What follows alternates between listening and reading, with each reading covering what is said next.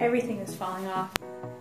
I don't even know where it all goes. It's like six meters of fabric that just get wrapped around you and pleated.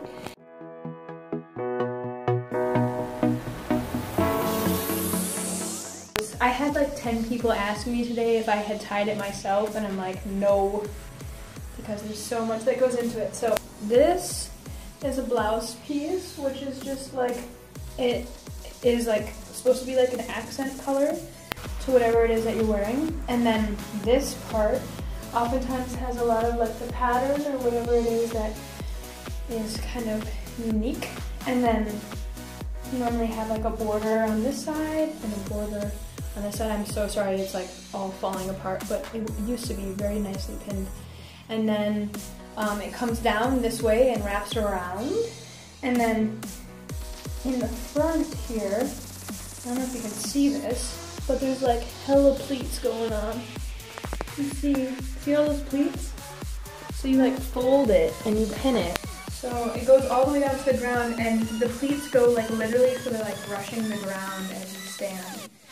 And so I always feel like I'm gonna trip over it. So I just like, whenever I like go down steps or something, I'll just like grab it like this and go down.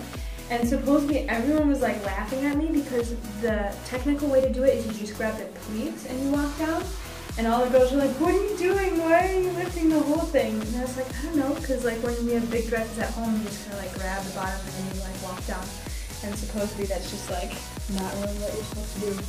So anyways, it was it was so much fun. And then it just kind of like goes around here and you have whatever detailing you want on your shoulders or on your back. And this is just one necklace that the Gypsy Girls made. I'm wearing because our color was royal blue. So everyone in the choir, you'll see everyone in the choir was wearing royal blue. So, and then basically what it is, I'm gonna show you how much this is just like literally a piece of fabric. Also, I have this pin here. You like have to have like 15 pins in. So literally this is just a huge piece of fabric and this is pinned.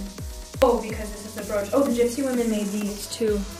It's a treble clasp and everyone in the choir was wearing one. So we sold them to everyone in the choir. And then it's just wrapped all the way around. And then this is where all the pleats are. You see like all the pleating. And then it's literally, if I unpleat this, it's literally just six yards of fabric. So I'm just wrapped in a sheet is what it is.